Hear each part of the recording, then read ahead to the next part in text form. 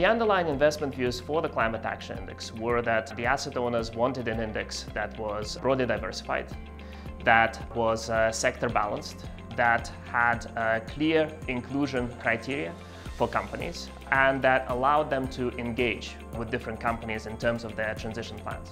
The key objective for constructing MSCI Climate Action Indexes is to select companies from all sectors of the economy which are transitioning well.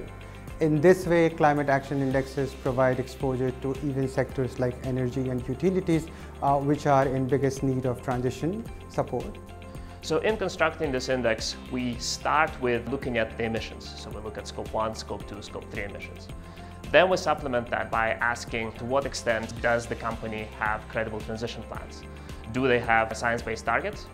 And do they have a credible track record in reducing emissions? Then we supplement that by uh, basically asking are they involved in green technology? And finally, uh, how are they doing with respect to overall climate risk management?